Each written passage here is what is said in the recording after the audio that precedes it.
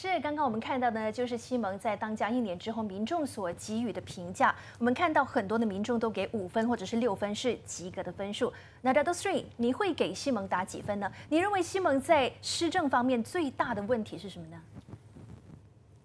作为一个反对党呢，我觉得我们是对这个执政党有呃非常高的要求。如果说五分是及格的话，我正好呢从及格分数减零点二分，也就十点八分。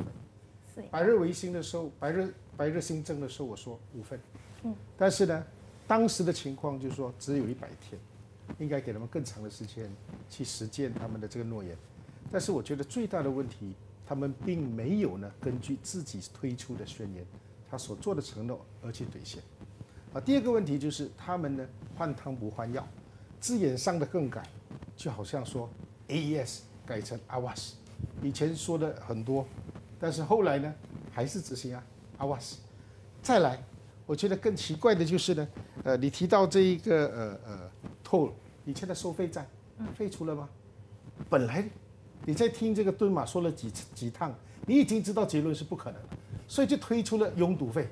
所以到了改成拥堵费呢，其实呢，它只是改个名字而已。第二，那更关键的就是整个一年来。太多的政策一直在优转优转，不止优转，L 转 J 转也零转了，所以这个才是一个问题。所以我觉得，呃，整个经济没有一个明确的方向，那才是一个重要的问题。特别是老百姓感觉感觉到这个生活压力大，而且这小园主的这一个呢，他们也怨声载道。所以人民要看到的是我们的政府积极的改善我们的经济啊，那么让人民呢生活更加好啊。那么不要每天打压拉曼大学学院啦，腰斩十加六的华小啊，什么发展这个飞行车啊，第三国产车等等，我觉得这个才是大家所期待的。嗯嗯，那 YB 想请问一下，你对于 d a t o Three 给的四点八分，你怎么？评价当然，首先我要特别感谢的就是马来西亚的人民呢，不分种族啊，团结一致，在去年的五零九的时候，怒拨空拳啊，拨虎头啊，赶教之月换新天啊，在经过了六十年之后，第一次的改朝换代。当然，我们都明白到说，六十年里面的那一个藏污纳垢，不可能啊大扫除一天里面可以清除的，尤其是整个制度的改革，的确需要时间。那么，但是我觉得说，西蒙政府在这短短的一年里面呢的表现呢，还是可以说是可。圈可点，那而且呢，百尺竿头更进一步。怎么说呢？第一，反贪倡廉，反灭灭贪腐，打老虎。我们大家都看到，现在过去前朝的贪官一个一个排队的上法庭。现在我们看了 n d v Seven 几乎每一天晚上啊都有法政先锋。现在那就的案件已经播到第十五集，连续十五天，还有很长。今天第十六了，第十六集了。对，所以这一些呢惊人的内幕，都是显示了西门立志打贪腐。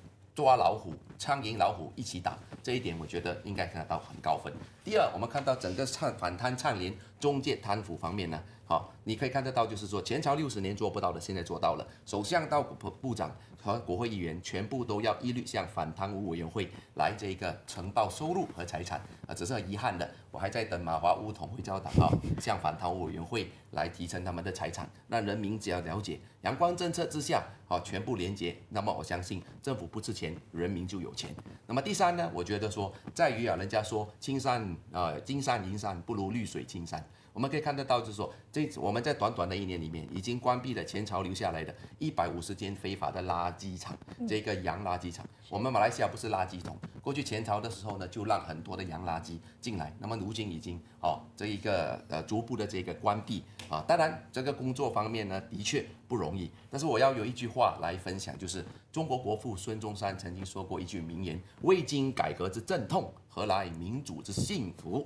那么改革期间当然会有阵痛，会有不一样的地方。那么你叫我打分，小弟呢是身为人民公仆哦，人民是我们的老板，由老板向伙计打分，这样才是比较公道。所以我们自己不打分。好，那我们领过了执政一周年的成绩单之后呢，也看过了分数之后，有四点八分，有五分，有六分、七分、八分都有的。所以呢，稍后我们还要验收的就是到底西蒙兑现了哪几项竞选宣言了，而哪一项政策又是您感到最满意的呢？华语新闻稍后回来。